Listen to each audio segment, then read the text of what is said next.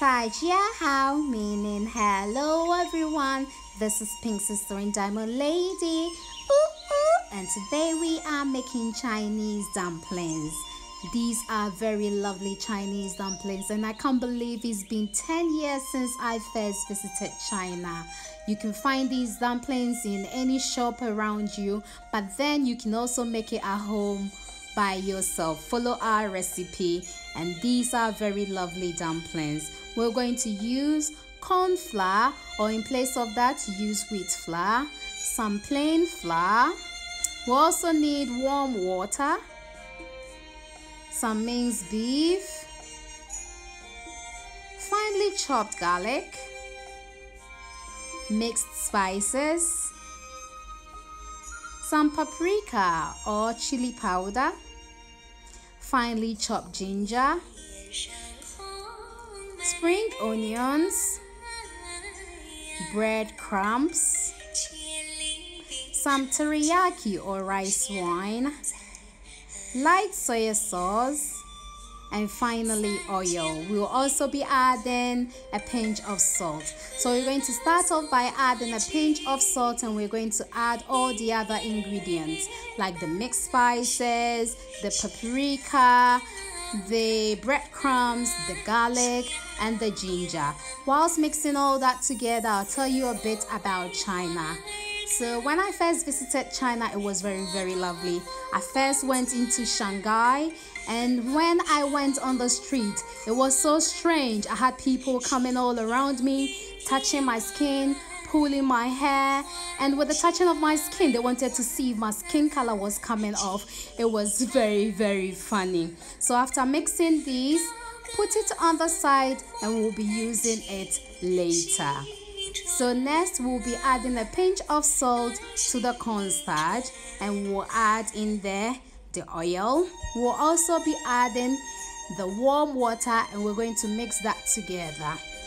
We'll be adding the plain flour one at a time and we're going to make sure this dough is not too hard.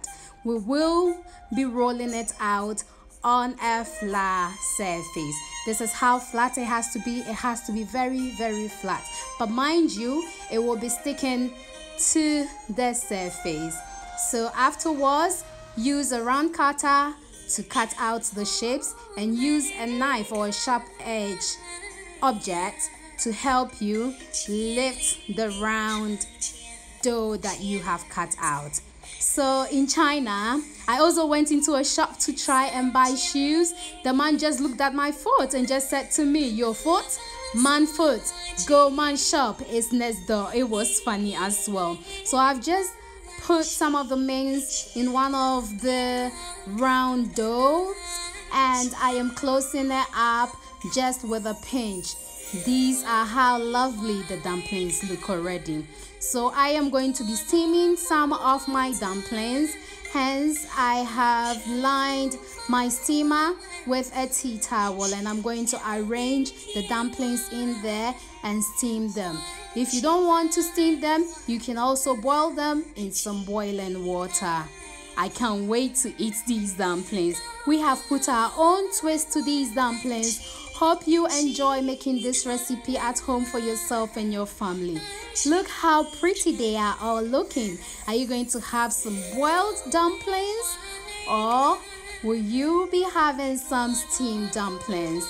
China has very, very lovely skyscrapers, and they've got one of the best nightclubs. I enjoyed myself in their nightclubs. So, we're making the side dipping sauce to add to our dumplings. So, we just added some teriyaki, some soy sauce, some honey, garlic, and some ginger, and we're stirring all that together. And voila! It is ready. I would say to you in Chinese, Shan Shan Ni Di Shi Wu. That means enjoy your food. Thanks for watching. Bye. Don't forget to like, share, and subscribe. Thank you.